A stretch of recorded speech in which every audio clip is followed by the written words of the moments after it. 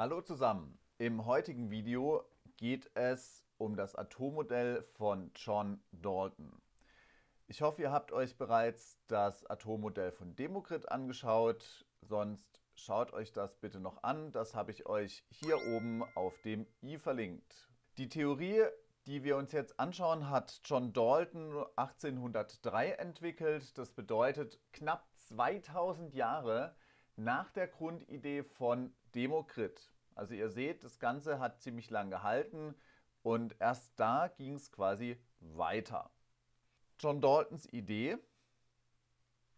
Atome sind kleine, massive Kugeln. Je nach Atomsorte, zum Beispiel Wasserstoff, Gold, Eisen und so weiter, sind sie unterschiedlich groß und unterschiedlich schwer. Das heißt, bei ihm ging es nochmal um die Masse und um die Größe. Masse, also das Gewicht und die Größe, wie groß ist eben ein solches Atom.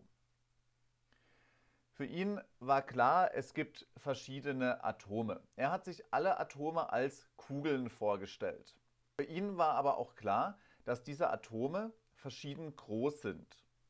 Ihr seht hier die verschiedenen Größen und wenn sie unterschiedlich groß sind, auch eine unterschiedliche Masse haben, also unterschiedlich schwer sind. Das war jetzt schon mal was Neues.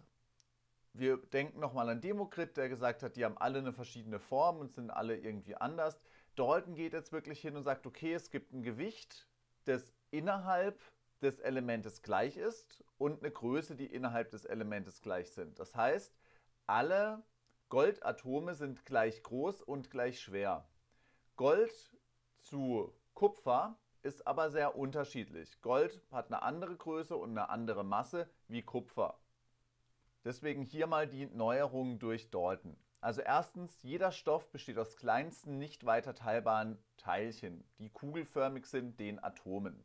Soweit war Demokrit auch schon. Was Demokrit aber nicht gesagt hat, dass es Kugeln sind, für Demokrit könnten es sämtliche Formen sein. Jetzt bei Dalton, es sind nur noch Kugeln. Zweitens, alle Atome eines bestimmten Elements haben das gleiche Volumen und die gleiche Masse. Heißt, sie sind alle des gleichen Elementes, also alle Kohlenstoffteilchen, sind gleich groß, haben das gleiche Volumen und gleich schwer, die gleiche Masse. Drittens, die Atome unterschiedlicher Elemente unterscheiden sich in ihrem Volumen und ihrer Masse. Auch hier wieder, Kohlenstoff- und Goldteilchen sind nicht gleich groß und gleich schwer, sondern sie unterscheiden sich in der Größe und in der Masse, also im Volumen und im Gewicht. Viertens, Atome sind unzerstörbar. Sie können durch chemische Reaktionen weder vernichtet noch erzeugt werden. Das ist eine ganz krasse Aussage von ihm. Für ihn war klar, dass Atome nicht einfach verschwinden können oder neu auftauchen können, sondern es gibt Atome auf dieser Welt und die werden nur umgelagert. Dazu kommen wir aber später, wenn es dann um chemische Reaktionen geht. Ich habe euch mal die Playlist zu den chemischen Reaktionen auch hier oben verlinkt. Da merkt man das nochmal ganz genau, dass wir quasi nur eine Umlagerung haben. Da kommen wir aber später im Schuljahr noch dazu.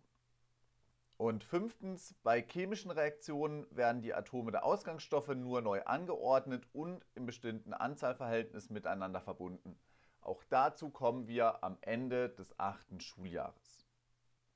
Ich habe euch jetzt hier oben noch das nächste Video verlinkt. Da geht es darum, gibt es wirklich verschieden große Teilchen und wie könnte ich das experimentell beweisen. Schaut euch bitte auch das Video an. Da wird das Ganze einfach nochmal erklärt. Ich wünsche euch jetzt noch einen schönen Tag. Macht's gut. Tschüss.